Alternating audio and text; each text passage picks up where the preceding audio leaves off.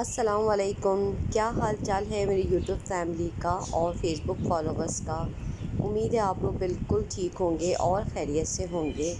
हम भी अल्हम्दुलिल्लाह ठीक ठाक हैं। और आज हमारा छोटा सा मिनी ब्लॉग है और ये है मिक्स सब्ज़ी की रेसिपी।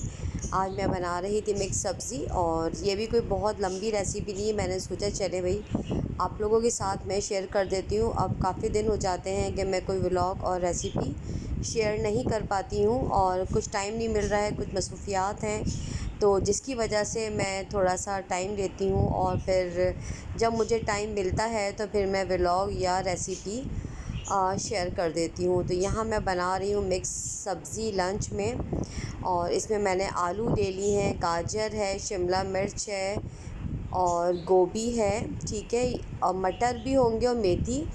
वैसे तो और भी सब्ज़ियाँ पड़ती हैं, मगर मेरे हस्बैंड को इतनी ही सब्ज़ियाँ पसंद हैं। तो बस मैं इतनी ही सब्ज़ियाँ डालती हूँ जो उनको पसंद होती हैं, और वैसे भी मेरे लिए भी आसान हो जाता है। वरना मिक्स सब्ज़ी में तो और भी बहुत सब्ज़ियाँ पड़ती हैं जिनको काटना बिल्कुल आसान नहीं। और यहाँ पर हमारी सब्ज़ी जो है वो कट गई थी, और इनको मैंने एक बाउल में पानी के अंदर डाल दिया था, ताकि ये काली ना पड़ें और बिल्कुल फ्रेश रहें। और यहाँ मैंने एक अदद बड़ी प्याज भी ले ली थी, उसको बारीक बारीक काट लिया था और यहाँ मैंने दो अदद टमाटर ले लिए हैं। इनको भी मैं बारीक सा चॉप करूँगी, इसलिए कि सब्ज़ियों में मोटे मोटे टमाटर अच्छे नहीं लगते और इसीलिए इनको मैंने चॉप कर लिया है। और अच्छा सा मैं इनको भून लूँगी। आप मसाले के साथ ही अच्छा टमाटर और प्याज को भून लें। तो फिर आपका मसाला बहुत अच्छा बनता है। तो यहाँ हमने एक अदद बड़ी प्याज काट के डाल दी है और इसको हम बारीक फ्राई कर लेंगे। थोड़ा मैंने इसमें ज़ीरा भी ऐड कर दिया था बाद में, इसलिए कि मुझे लगा कि कुछ कमी है प्याज के साथ तो वो ज़ीरे की कमी थी।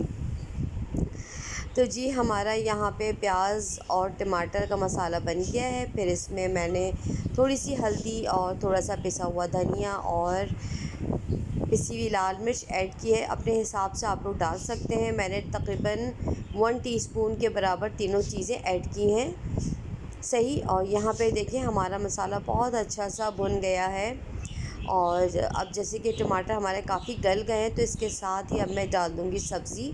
और जब सब्ज़ी गलेगी तो टमाटर इसके साथ जब ऑटोमेटिकली मैश हो जाएँगे, जब हम इनको भूनेंगे अच्छी तरह सब्ज़ी को तो टमाटर खुल जाते हैं। तो इस तरह से पहले आप टमाटर और प्याज को पका लें और उसके बाद फिर आप इसमें सब्ज़ी ऐड करें।